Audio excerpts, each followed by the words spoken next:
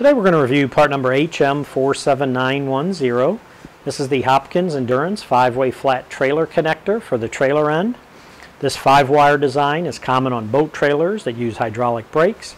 It'll provide the backup function to release the surge brakes to allow you to go in reverse. If you also notice on this connector, it has a nice easy pull ergonomic grip on it, which makes disconnecting a snap. When they're plugged in, you can just put your fingers there. Makes it easy to pull out without pulling on the wires. Or the other way is if you'd like, has the mounting holes on it that you can actually mount this down onto the trailer.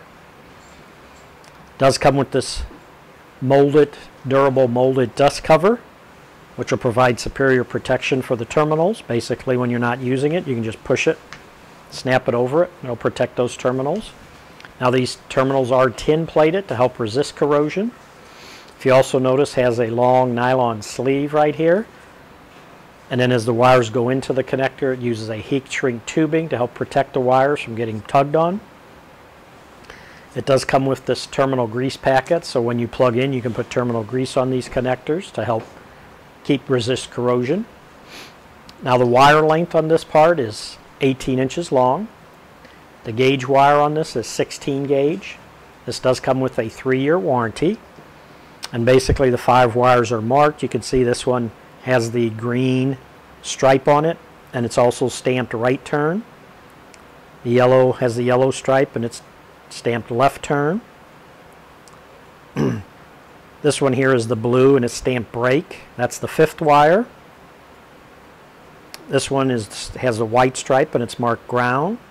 This one is brown and it's marked tail light, so it helps you when you install these where they go to. Now this fifth wire, the blue one that says brake on it, basically in this model it'll tie into your reverse lights on your vehicle so that a signal can be sent to the hydraulic brake actuator to disengage whenever the tow vehicle is put into reverse. To use this function, your actuator must have an electric reverse lockout with the solenoid that this wire connects to. Also, this will work with small utility trailers that have electric brakes but you'll have to remember for this type of application, this fifth wire will need to be wired to correspond with your in-cab electric brake controller. That should do it for the review on part number HM47910, the Hopkins Endurance 5-way flat trailer connector for the trailer end.